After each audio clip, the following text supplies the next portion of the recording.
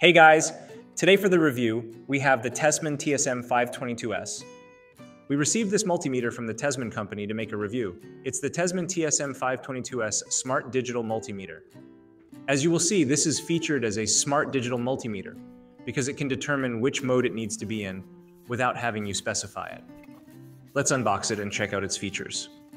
This product comes with a carrying case, an instruction manual, two AA batteries, two probe leads, plastic cover for the multimeter, and the multimeter. First, we need to install the batteries. Remove the plastic case. Unscrew the back cover. Insert the two AA batteries that are included. Put the plastic case back. Attach the probe leads to the multimeter. Remove the caps from the probe jacks Insert the black probe jack to the COM port. Insert the red probe jack to the input port. Make sure to completely push the probe jacks into the multimeter sockets. Starting from the left, the first button is the power on and off. Press and hold to turn the power on or off. The next button is to turn on or off the flashlight on the back.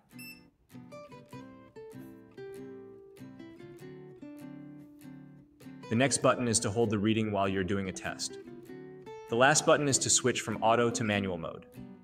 Press to switch to DC voltage measurement. Press to switch to AC voltage measurement. Press to switch to resistance. Press to switch to continuity. Press to switch to frequency. Press to switch to capacitance. Press to switch to diode. Press to switch to non-contact AC voltage detection. Press to switch to live wire detection. Press to switch back to auto mode. It's time to test this multimeter. Let's test the voltage of this 9 volt battery. The multimeter is set to auto mode, so I don't need to set it to DC voltage measurement. Touch the black probe to the negative terminal. Touch the red probe to the positive terminal. The reading shows around 9 volts.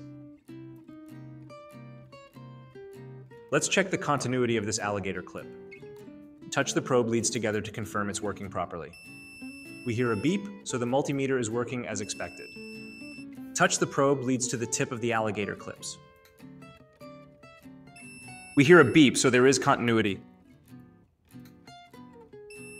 Let's check the voltage of this power cord that's connected to a wall outlet.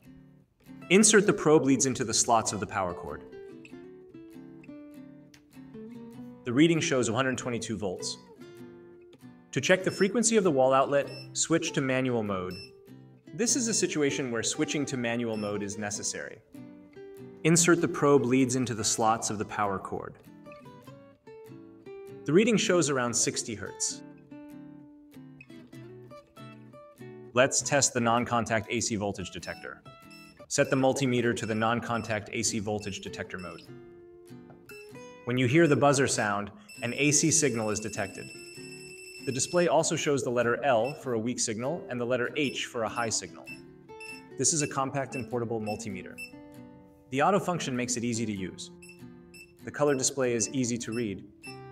The price is very reasonable. The link to this multimeter is in the video description. If you found this video helpful, give it a thumbs up, consider subscribing for more electronics tips and tutorials, and hit the bell icon to never miss an update. Thanks for watching, and I'll see you in the next video.